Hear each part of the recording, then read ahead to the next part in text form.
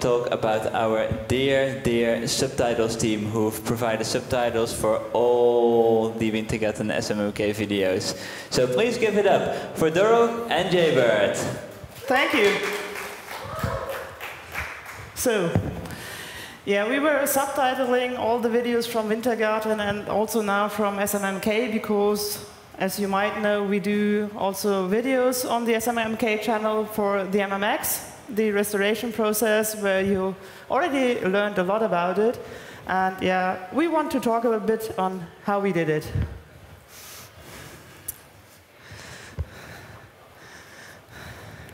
Now, why do we do subtitles? We got a worldwide audience, so we got an audience with various needs. First of all, Martin has admitted several times that he makes videos in Swinglish, which is actually Swedish English. So people, even if they speak English, they might not always get the first time what he means, and we try to figure that out, make a subtitle of it, and then people can read it. The deaf, hard of reading, uh, hard of hearing people, they cannot hear Martin's voiceovers. They cannot see him at that moment, so they can't do lip reading.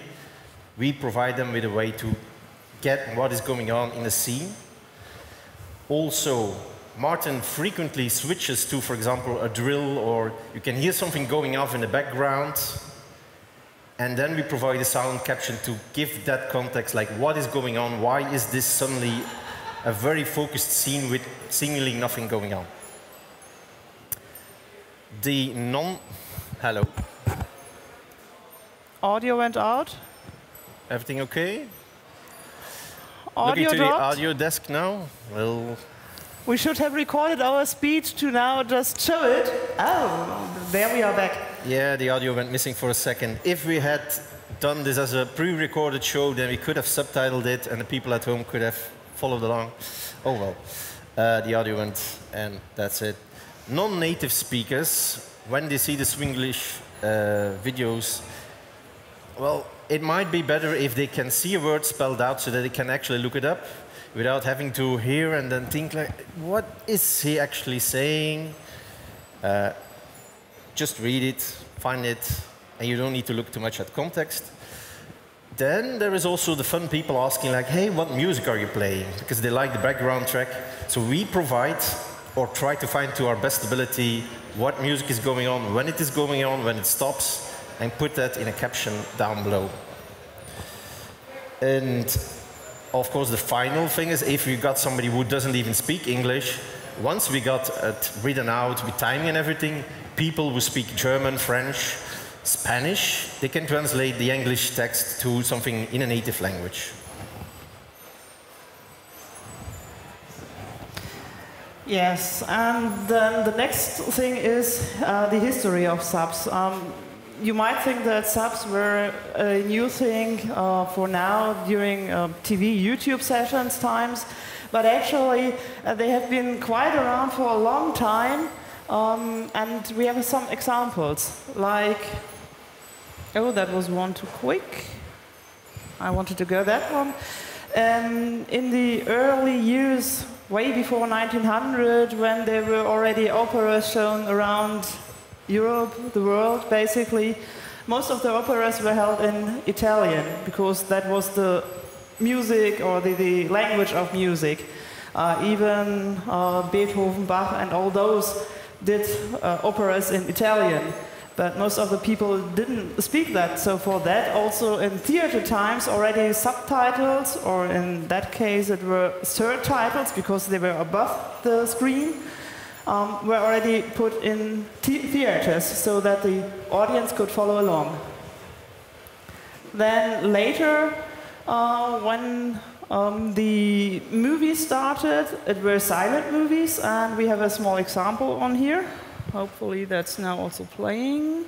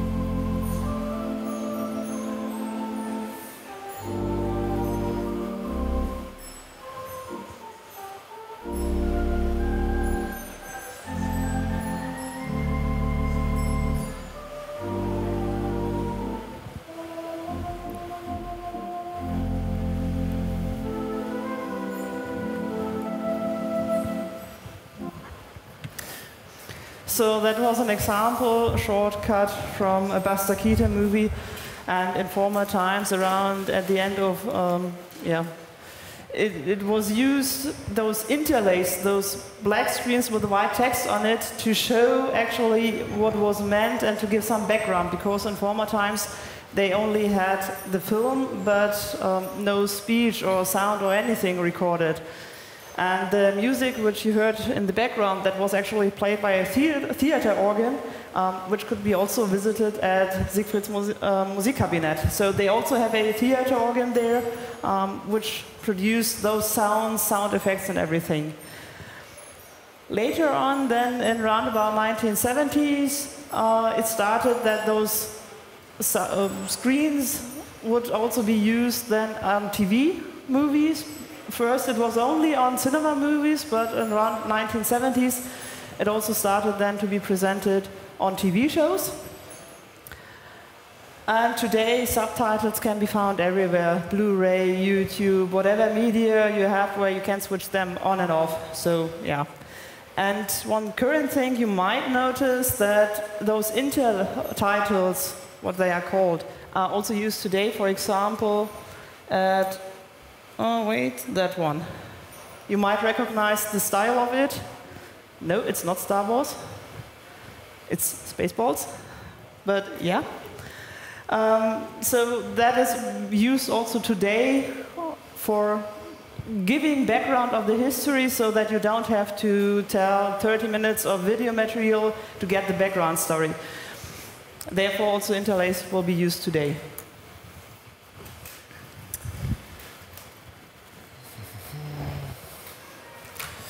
Now, the subtitles team doing subtitles for Wintergatan is not hired by Martin. It's basically a community effort where somebody started and said to Martin, like, you know, we might not know each other, but I don't like the automatically generated YouTube subtitles. Can I fix them, please? Doro will go into more details, but right now the team is still a community effort. People chip in and, and give some of them time.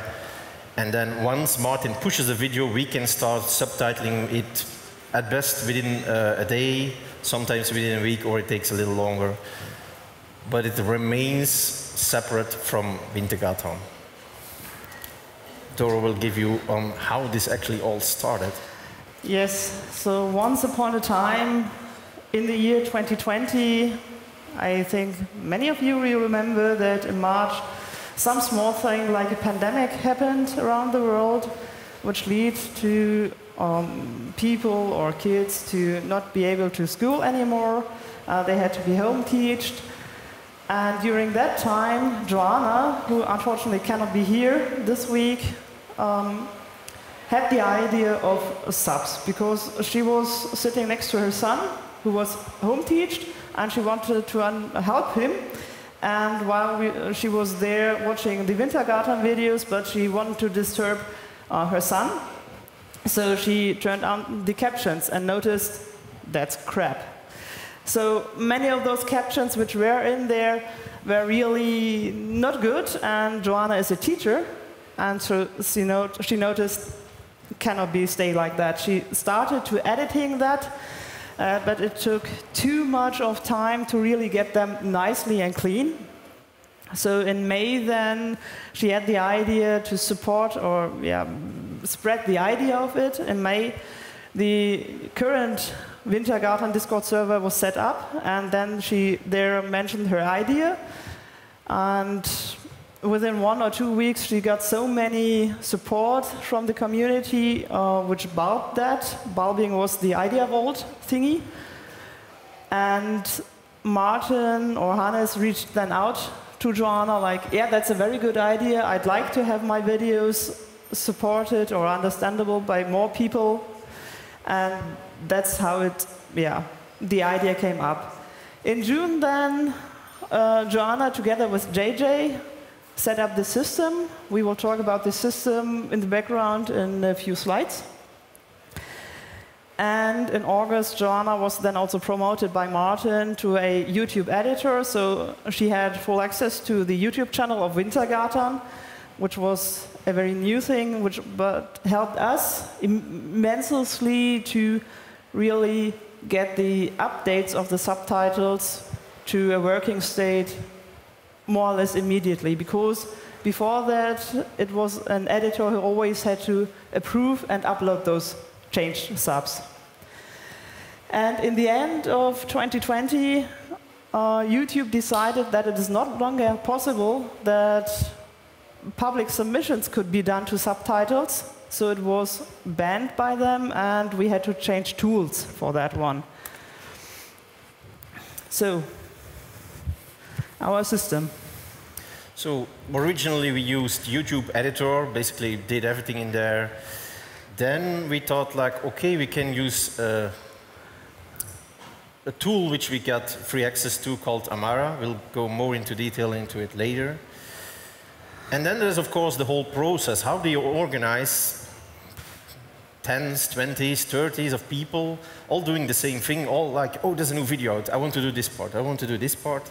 So we start with a spreadsheet. This one, though, is just only the first thing. When people are collaborating, everybody has their own style. So at some point, you need to agree on like standards like units, I say one millimeter, you write it as a number and double M. One you spell out, two you spell out, three you spell out, 12, no, well, we write that as numbers. Certain things like that, you agree on how words are spelled. Um, there is, of course, like making what is a good subtitle, because Martin can also be challenging in having run-on sentences and continuing this, so and this, so and that, and also, and goes on and goes on. And also uses sound effects. So from time to time, we need to agree on when does a boom sound show up.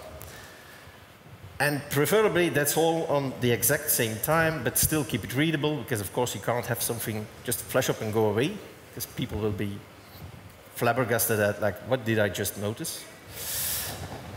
Uh, yeah, this is about like standardizing and writing down what everybody should be doing to make a good subtitle. We'll go through the other tabs, so Doro can now take yeah.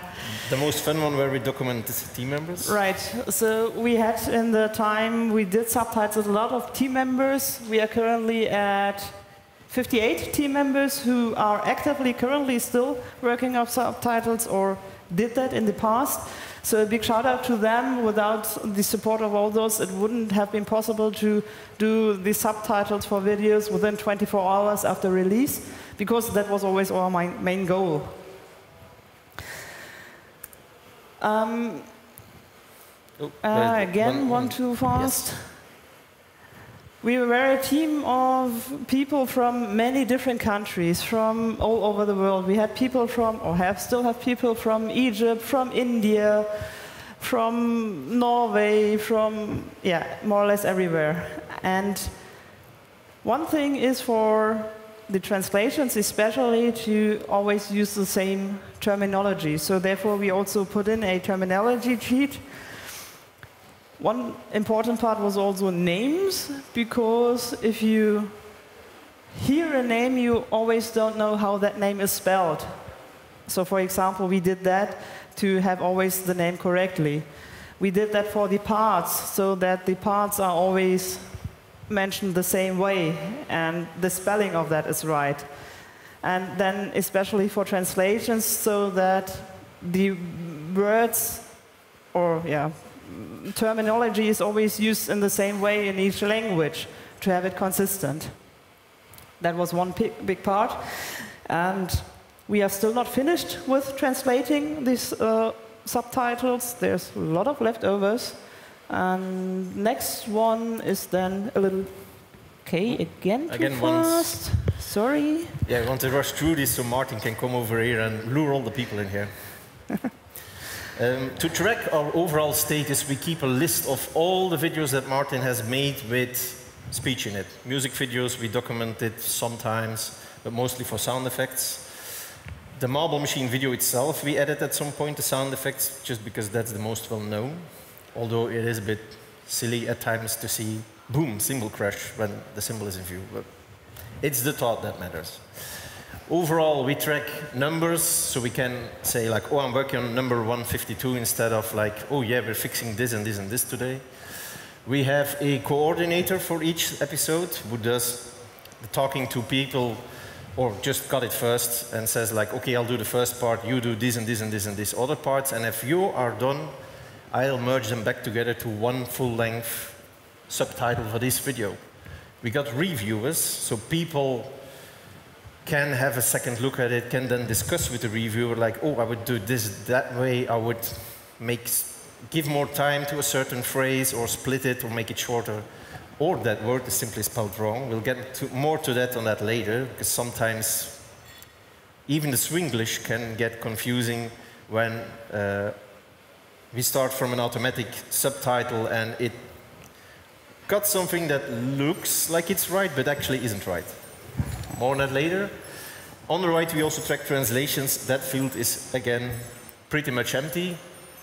But for English, we got, in this case, all 11D, which means like, okay, it has gone through all the stages, it's done. Next slide is then once we get a new video or someone that hasn't been worked on due to various in real life uh, things, we make a sheet for each video, say like, okay, we'll split it into 10. 10 parts, okay, it's video of 26 minutes long, so about two minutes each. And then a person can claim just a piece of the video. We also can then, we write on a Dropbox account like, okay, this is the first part, second part, third part, fourth part. The person who is coordinating is then responsible for merging all those back together and getting the final result which can be uploaded to YouTube. Is a bit of our sheet where we got statistics. Yes, so in total we have now 269 videos from Martin on both channels. Has, you all know the Wintergatan channel, but there's also the Wintergatan 2 channel, which he used a lot for live streaming daily updates and we try to subtitle all those videos. And we as you can see in the statistics for the MMX videos we have covered all in English. For other videos on his main channel which are not related to the MMX we have still some leftovers to do. For the Wintergatan 2 channel we did all of them and for the MM3, we have currently a little bit of backlog. So there we only, have currently 19 completed and 15 videos are still open. And whoever wants to help us is welcome to do so. Because as you see, a big backlog, we need help. And that one, as you can see for translations, it's looking much worse um, as we are all trying to do the subtitles in English first. That's our main priority.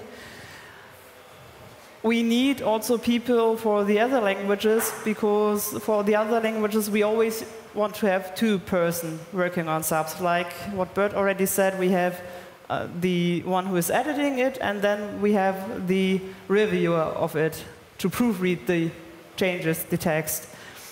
And getting proofreaders or two people uh, speaking the same language um, is not that easy, even though we are 50 people in our team, but not everyone has time at every time.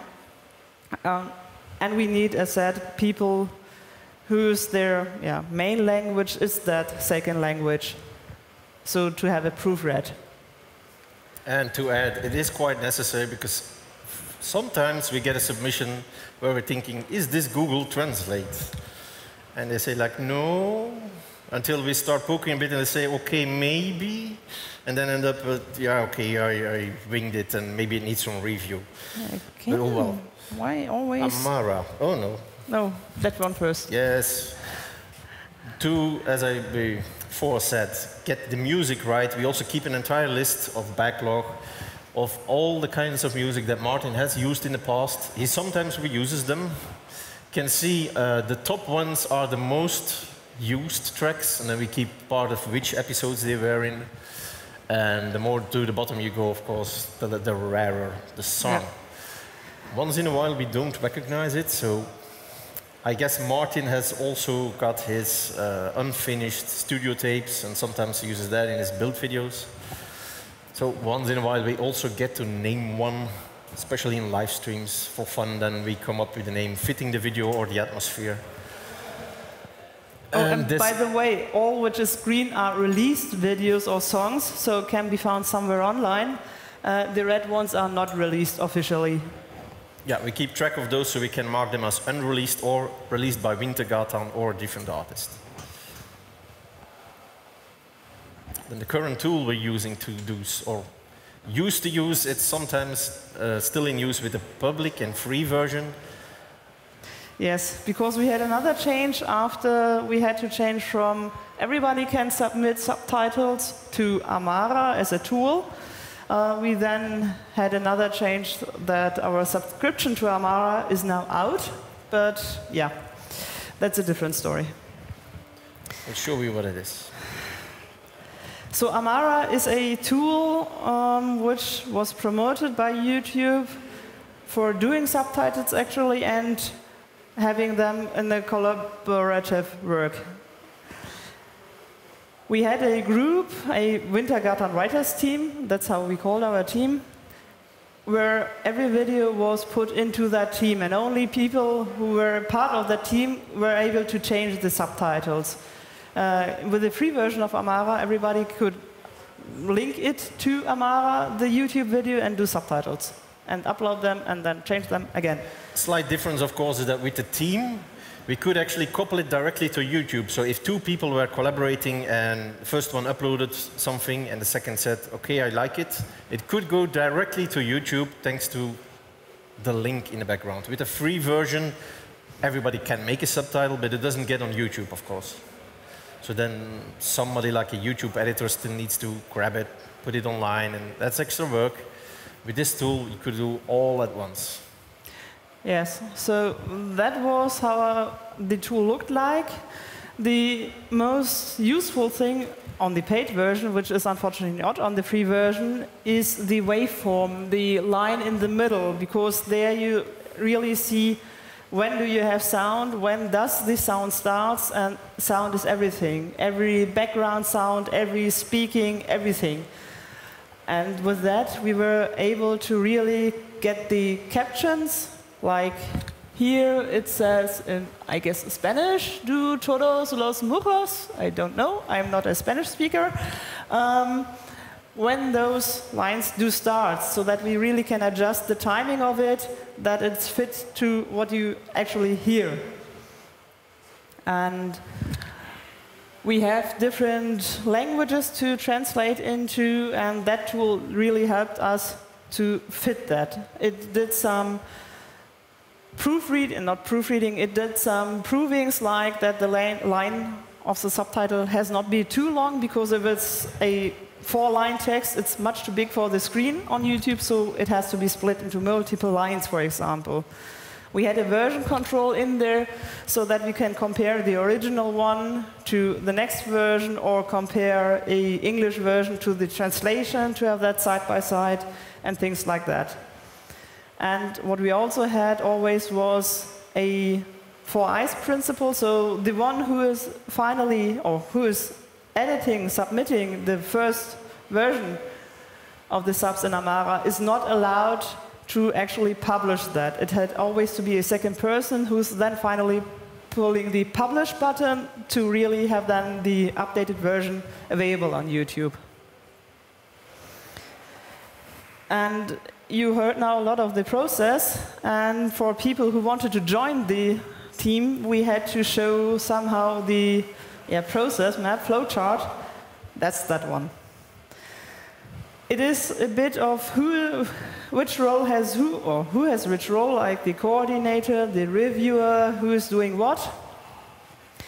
And that was for if a new video has been released, and if we had to translate videos, we have this flowchart, which is a bit different because also we had the issue that in Amara we had in total, I think, four language slots available, but we wanted to start on many different languages. So we could not use every language as a fixed slot. And then there was the thing that we had in YouTube itself, which was then again by, to be done by someone with editor rights in YouTube to set there the language. For example, we did a language in Spanish, labeled Spanish, but the actual language was Italian. Then we had to, in YouTube itself, remark then that to Italian that it really fits because we were ran out of slot, slots. Yes, that is just a very short overview of the process we had in the past. Nowadays, without Amara, we still have a similar process, but not yet fixed, really. But we're working on it. Definitely. So now, well, for some might it fun, some might say like, ooh, this odd. YouTube, when Martin uploads a video, will generate an automatic subtitle. So when you up to enable captions on, for example, yesterday's video, you will see that there's no commas, periods, capital letters, whatever in there. It's just automatic speech recognition. On the one hand, that's great because we can use that as a starter, especially when to find periods where nothing is being said, so we can quickly skip over those, except for meeting, going back and adding sound captions. But a speech and knowing where that is, that saves a lot of time. Whereas usually you needed to play the video 10 times over and over and over and over, and each time you heard something, you typed it in. The only downside is AI is not always on the ball, especially with Swinglish. With Swinglish and with uh, the Wintergatan typical uh, words, but the AI learned. There is, of course, there is of course enough jargon uh, going around. Um, let's be honest about it.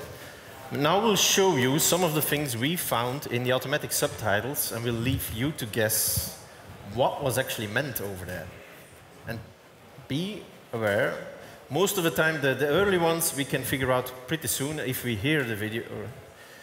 Some of the later ones, sometimes even I get confused, like, is that what he's saying, or is it, hmm, well, maybe not the, on this slide, but there are definitely times where yeah. the AI just found something that matches but isn't the right thing. So let's move on. Moving the goslings, videos on my steez, phase of the plastics, get up in my space, integral time and safe, the other bad stacks. That's what we found. And all of those do mean the same according to YouTube AutoGAN. Any guesses?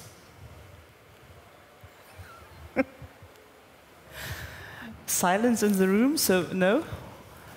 It is not more, nothing less or more than Wintergatan Wednesdays. For some reason, the AI, well, okay, it doesn't recognize Wintergatan. Fair enough, it's English. But then the Wednesday somehow gets completely lost in the message and turns into the weirdest yeah. of When we found those, we had a lot of fun. We got some more. These are a little bit easier, maybe. We have Hallmark Machine next, Warranty next, Marble Kings next, Democracy next, Monitor She Makes, Martin's next, Emergency next, Mirror Machine X. What could it be?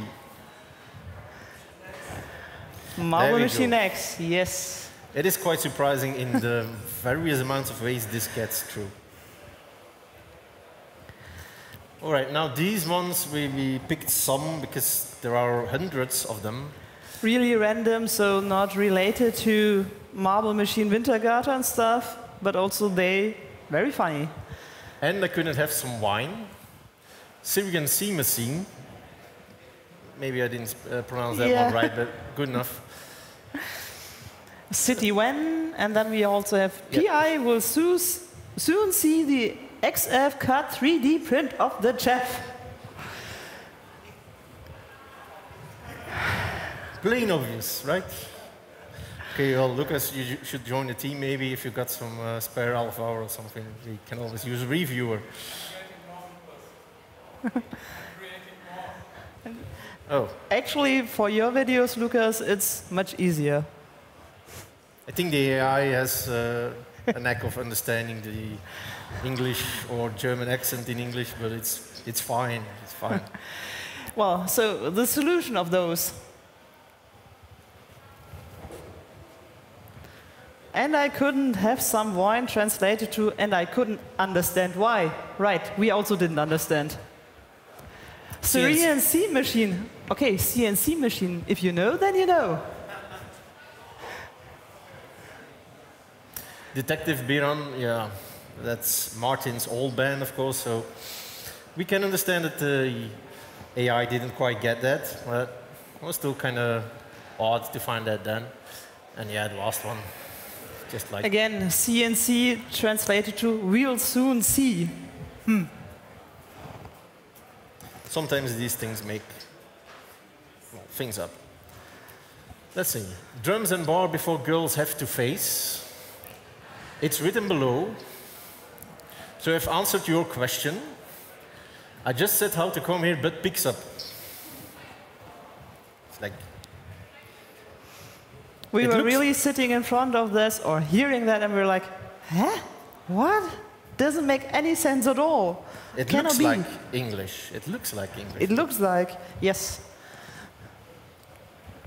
But actually, I was getting confused by the vibraphone. I like the second one. It translated from, so I'm answered your question to, so I'm searching for a new question. Hmm. Conveyor belt also failed to be detected. Oh, well. Now, want to help subtitling? That's quite easy. We put uh, maybe from your side of the screen a bit too small, but there's a QR code pointing to a message on the Wintergatan Discord. There you can react to that message with a particular icon, and that will give you access to the subtitles team channel and start Stardom as just somebody who can see subtitles, get some updates on where we're going.